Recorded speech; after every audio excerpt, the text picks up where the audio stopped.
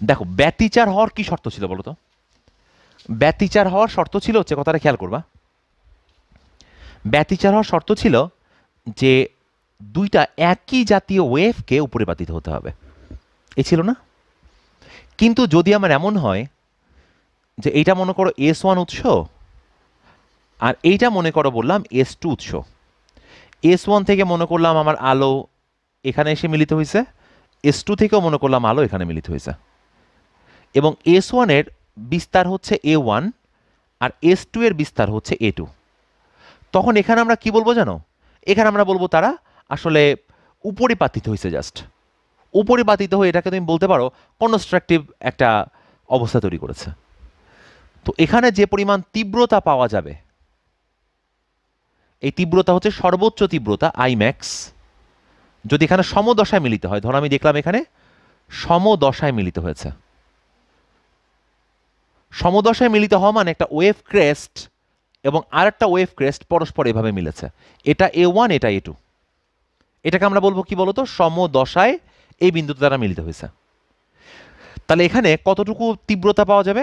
সেটা হবে proportional to A one plus A two এর হোল স্কোয়ার দেখো তো বিষয়টা, বুঝছ কি না আবার যদি আমি আরেকটা পয়েন্ট চিন্তা করি, ধরো আমি এই পয়েন্ট চিন্তা করলাম, আমি এখানে দেখলাম যে তারা বিপরীত দশায় মিলিত হয়েছে। বিপরীত দশায় মিলিত হয়েছে। তাহলে বিপরীত দশায় মিলিত হওয়া মানে এই হচ্ছে আমার ওয়েভ ক্রেস্ট, এর সাথে একটা ডাউন বা অপোজিট ওয়েভ ক্রেস্ট মিলিত হবে। ফলে এখানে আমাদের এই যে যে ওয়েভ আসছে এবং এই যে যে ওয়েভ আসছে, এরা এসে একটা ধ্বংসাত্মক ব্যতিচার তৈরি করবে এখানে। একটা ধ্বংসাত্মক অবস্থা তৈরি করবে। এবং এই ক্ষেত্রে আমি যে তীব্রতা এখানে পাবো এই তীব্রতাকে আমি বলতেছি আই মিন এবং তার পরিমাণ হবে proportional to A one minus A two এর হোল স্কোয়ার দেখো, বিষয়টা বুঝতে পারলে কিনা?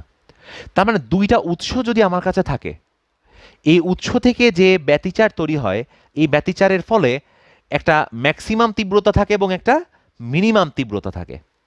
যে কোনো পয়েন্টে তুমি যদি হাত দাও, হয় সেখানে ম্যাক্সিমাম পাবা অথবা মিনিমাম পাবা। এই দুটার মধ্যে। তো ম্যাক্সিমামটা হচ্ছে বিস্তার, এ হচ্ছে বিস্তার। এগুলোকে কি বলেছি বলো তো এগুলো সব হচ্ছে বিস্তার। এটা হচ্ছে বিস্তার। তাহলে বিস্তারের যোগ যোগফলের স্কোয়ার আর এখানে হচ্ছে বিস্তারের বিয়োগ ফলের স্কোয়ার ফলে তুমি দেখো ম্যাক্সিমাম তীব্রতা ডিভাইডেড বাই মিনিমাম তীব্রতা, এটাকে কি লিখতে পারো? A one plus A two এর হোল স্কোয়ার আর নিচে লিখতে পারো কিন্তু A one minus A two এর হোল স্কোয়ার কথাটা ক্লিয়ার তাহলে এখান থেকে তোমার কিছু কোশ্চেন আসে এই ধরনের কনসেপ্ট থেকে। তাহলে সর্বোচ্চ তীব্রতা, সর্বনিম্ন তীব্রতা কি বুঝতে পেরেছ? এটা হচ্ছে সর্বোচ্চ তীব্রতা, সর্বোচ্চ। যখন তারা সমদশায় মিলিত হবে। আর এটা হচ্ছে সর্বনিম্ন তীব্রতা। আচ্ছা তাহলে এবার আসা যাক আমাদের কোশ্চেনগুলো কেমন দিতে পারে। প্রথমে একটা বেসিক কোশ্চেন দেই। খেয়াল করো। আমি বললাম যে দুটি অসুসঙ্গত তরঙ্গ বা তরঙ্গের বিস্তারের অনুপাত বিস্তারের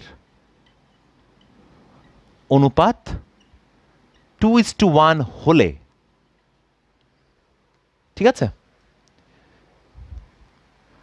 এদের দ্বারা সৃষ্ট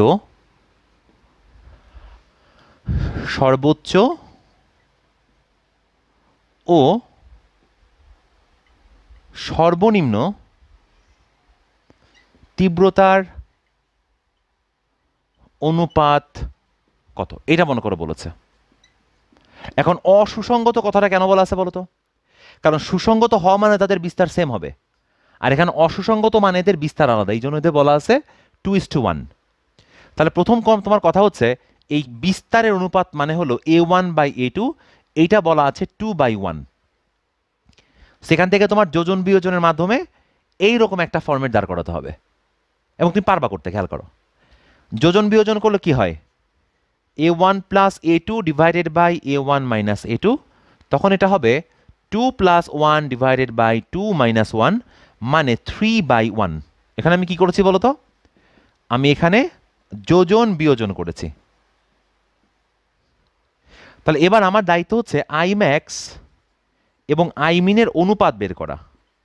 And that is going to be A one plus A two by A one minus A two এর হোল স্কোয়ার দ্যাটস এট ওই যেখানে যা পাইছি তাই।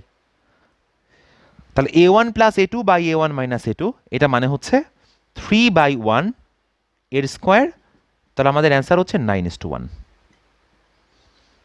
খেয়াল করছ কত ফ্যান্টাস্টিক একটা জিনিস? তাহলে আমরা বিস্তারের অনুপাত থেকে, কথাটা খেয়াল করো, বিস্তারের অনুপাত থেকে আমরা কিন্তু চাইলে ম্যাক্সিমাম আর মিনিমাম তীব্রতার অনুপাত বের করে ফেলতে পারছি। এই কোশ্চেনটা পরীক্ষায় এমসিকিউতে দেওয়া যায় না? যায়? অবশ্যই যায়। সো এই ধরনের কোশ্চেন তুমি কিন্তু এমসিকিউতে বিভিন্ন জায়গাতে পাবা। This are very important thing এরা ওয়েব চ্যাপ্টারের জন্য আসতে পারে অথবা তোমার আলোক তরঙ্গ তত্ত্ব যেটা আমি মাত্র পড়ছি, এটা নিয়ে আসতে পারে।